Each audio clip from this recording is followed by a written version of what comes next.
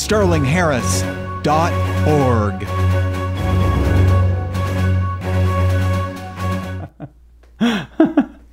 Hi, I'm Sterling Harris, and welcome to Sterling Harris Ministries, where today we're going to be talking about how to do an unforgiveness purge and how to walk in daily forgiveness for yourself, for God, and for others. First, before we get into actually how to do the unforgiveness purge, we're going to talk about some misconceptions about what forgiveness is and isn't, and what holding unforgiveness is and is not.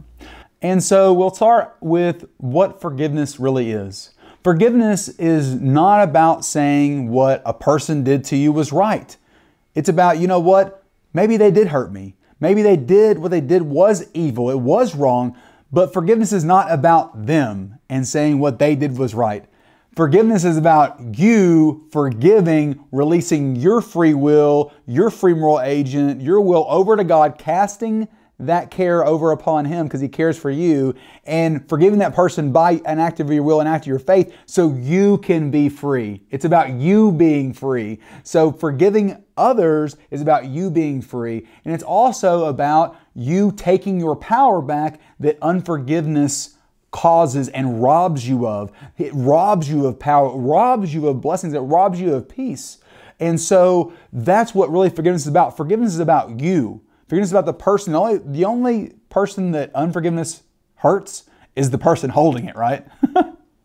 so that's what really forgiveness is about. It's about you forgiving as an act of your will between you and God and releasing that over to Him and walking in love, obedience, humility, and man, walking in joy because it's going to free you up.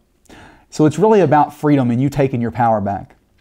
Now let's talk about what unforgiveness is or isn't. A lot of people say, well, I'm not holding any unforgiveness for that person, or you know what? I dealt with that. Everybody's heard that or said that at one point in their life, right? So let's say unforgiveness doesn't have to be a hatred, or you don't have to reach a certain level. Unforgiveness can be as simple as somebody irritated you, you a situation frustrated you, maybe you got offended by something or someone. It's so easy for us to get offended. You can get offended four or five times just driving into driving into traffic. You can forget you can forgive four or five people, right? And so it's so easy to hold offense. And so don't qualify unforgiveness as something that has to be this kind of big ordeal or this big hatred. It can be something as simple as you got frustrated or irritated about something. How many times you get frustrated or irritated with your spouse or with your child or with a coworker? I mean, come on, it happens every day. So that's really what unforgiveness is. It's any kind of irritation, frustration, any kind of touchiness, fretfulness, resentfulness, hidden resentments. So now that we've kind of defined what unforgiveness is and isn't, and also what forgiveness is and isn't, let's move on to the actual unforgiveness purge.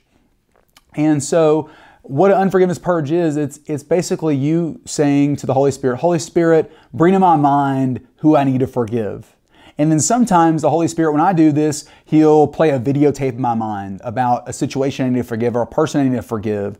Um, maybe He'll bring the person's name to my mind. Maybe I'll just see like maybe a picture of that person or of that situation. So there's a lot of times, or a lot of times, God will bring Himself in a situation that that I was kind of got offended at what He was doing or what I felt like He wasn't doing. Have you ever been like, you know, God, I wish you would have done this, or God, why didn't you bless me in this, or there, there's so many times that, that I've got frustrated at God, and God's brought that to my mind, and I'll be arguing with him like, God, I didn't really get frustrated with you, and He's like, Sterling, you did. so forgive, let that go. So I know I probably don't need to say this, but I do need to say it because we all do it. When the Holy Spirit brings somebody to your mind, don't argue with God. I know it's like something that's okay, this is obvious, but I mean, how many times we all of us argued with God, right? So there's three people that God always brings in my mind during this unforgiveness purge. Myself, because no one can beat us up like we beat us up, right? No one can condemn us like we condemn us. And so God often brings situations in my mind that I need to forgive myself for, that I held some kind of frustration for myself. Like I felt like I fell short. So I like, Lord, I forgive by faith. I forgive myself. And, and then he'll also bring my earthly father up. Me and my dad had a volatile situation happen and also kind of a volatile uh, upbringing in my childhood. So there's often times that God will, will have me realize that I'm still holding this irritation and frustration for, for his and I's relationship. So I'll forgive. Lord, by faith, I forgive my dad in Jesus' name. And I, Lord, I release that resentment or that irritation, that frustration. I release that to you. And then the third person is God. He always brings himself to my mind because I'm always holding like resentments or frustration or irritation about what I feel like something God either should have done or shouldn't have done or should allowed, shouldn't allowed. There's it's so easy to get frustrated with God. Like, have you ever said this? God, why do you bless me like that? Or God, when are you going to bless me like that? Or when's going to be my time? Or why do these things always happen to me? We've all said those things, right? You can go on Facebook and, and do that all day. People, you'll be looking at somebody's Facebook. Why do they have the perfect life? Look, nobody has the perfect life. So Everybody, nobody's immune to the fire and the trials of life. So just let that go. But God i'll bring that to my mind. So by faith, Lord, I forgive you, Lord, and I, and I just release that frustration over to you. In Jesus' name, I release my will over to you, Lord, and I forgive you. So there's no magic prayer, there's no magic way to do it. That's just the way I do it. I, I ask the Holy Spirit, Holy Spirit, bring my mind who I need to forgive. And then whatever situation, whatever person, including God, that comes to my mind, I let go and forgive. Because God said in His Word, 1 Peter 5 7 says, Cast all your anxieties, all your cares, all your fears, all your concerns upon God because He cares for you. And we know that when we do that, God forgives us and cleanses us from all unrighteousness. It says in 1 John 1 9 that we confess our sins, God is faithful and He's just, forgive us of our sins, and cleanse us from all unrighteousness. So even while we're doing this, even kind of the hidden sins of the heart, God brings those to our minds and our hearts and we forgive. And even the stuff that maybe we didn't talk about, it says he cleanses from all unrighteousness. You know what? You know what it means in Greek? The Greek word for all means? That's what the New Testament is written in as a Greek. It means all. It means every. so he cleanses us from all unrighteousness. So I just want to encourage you to walk in this love and forgiveness. And remember, also remember this forgiveness is a process. It is not a one time event. Let me say that again. Forgiveness is a process, not a one time event. So if you've forgiven somebody before and you tell God, well, you know what, God, I forgave that person, I dealt with that.